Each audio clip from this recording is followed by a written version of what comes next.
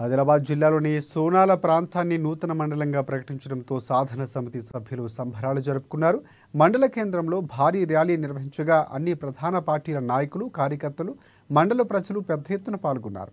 గత ప్రభుత్వం మండలంగా ప్రకటించినా పట్టించుకోకపోవడంతో కాంగ్రెస్ ప్రభుత్వం సోనాల ప్రాంతాన్ని నూతనంగా మండలంగా ప్రకటించడం సంతోషంగా ఉందని దీనికి సహకరించిన ముఖ్యమంత్రి రేవంత్ రెడ్డికి అలాగే ఇన్ఛార్జి మంత్రి సీతక్కకు నియోజకవర్గ ఇన్ఛార్జు ఆడే గజేందర్లకు మండల కాంగ్రెస్ పార్టీ నాయకులు ప్రత్యేకంగా ధన్యవాదాలు తెలిపారు.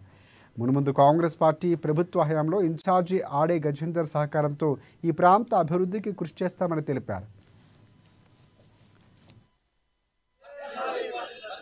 ఇక్కడ అభివృద్ధి వేగవంతంగా ఉంటుందని ఇక్కడ ప్రజలు భావిస్తే పన్నెండు గ్రామ పంచాయతీల ప్రజలు అన్ని వర్గాలు యువత కానీ వృద్ధులు కానీ వివిధ కుల సంఘాలు కానీ డెబ్బై ఐదు రోజులు దాదాపు పోరాటం చేసి మేము సాధించుకోవడం జరిగింది.